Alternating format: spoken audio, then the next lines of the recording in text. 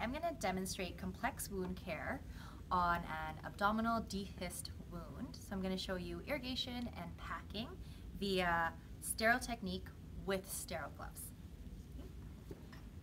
So first I'm going to start, uh, set up my field before we open the wound so that our patient doesn't have an open wound to air while we're taking a few minutes to do this. So I'm going to put the blue pad on the patient just to catch any extra debris or water after we irrigate. And I'm gonna take off the tray slowly. And I'm gonna use this as a garbage. There could also be a garbage inside your tray. I'm gonna ask my patient if it's okay if I set my garbage up right here, and usually they're always fine with that. And then before I open my sterile field, I'm just gonna my hands again. So I have all my supplies here and then I can set up my sterile field.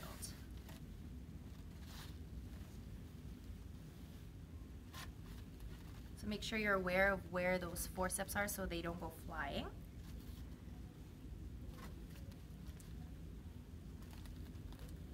And I see them, so I'm going to lift this a bit and then grab my forceps by this area here.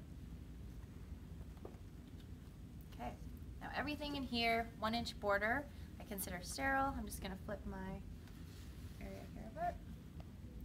And then I'm going to move this to where I think is best for me. I'm going to move it there. So I'm going to just check my field here. Anything past the table is considered unsterile. So these areas are past the table. And then my one inch border actually begins here. So I'm going to think of where I'm going to put this afterwards. Here's another bag if you need to use. So we don't need that. You can throw it away. Drop everything about six inches above. And I'm going to need this inside because I'm going to be using the sterile glove method.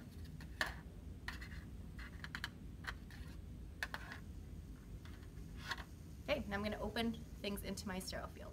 So watch how I drop this. I want to make sure this is a one inch border, meaning everything from here is unsterile. I'm gonna get my sterile water. If it's an opened container, I'm gonna lip it. If it's brand new, I don't I don't need to lip it. And then I'm just going to carefully pour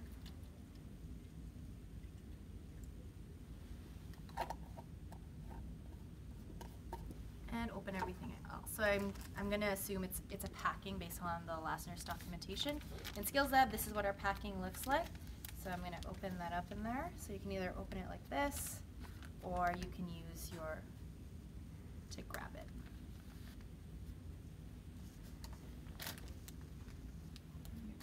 there. This is what it will look like in clinical if you were to use a sterile Kerlix packing. I'm going to need my irrigation syringe.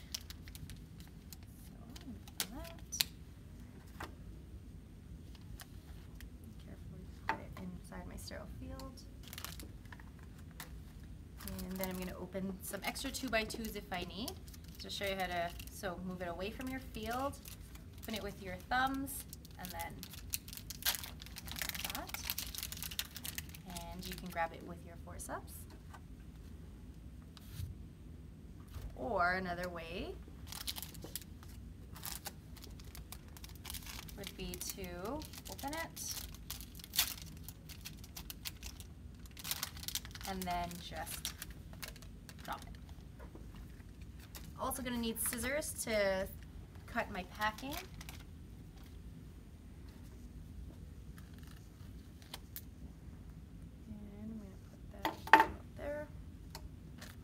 And maybe another 4x4 if I need. I'll just leave that off to the side. For my irrigation, I need to get my um, cannula. So same thing, I could drop it or I could use my forceps, whatever I feel more comfortable with. Doesn't look like it'll drop. Let's grab the forceps. So that would be considered contaminated. So what I would do is take it from the sterile field area, not from there, and take it out of my sterile field. Then I would use the call button and call a nurse to come and bring me another one.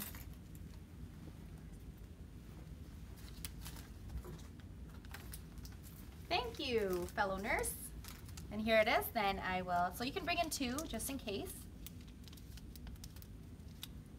And then just be extra careful when dropping the next one. There you go. So my field is set up. Um, I'm gonna use sterile glove technique, but before I put them on, I gotta get my patients set up. So I'm gonna move this a little bit. And I'm gonna take off my patient's dressing with clean gloves. So, two clean gloves right here.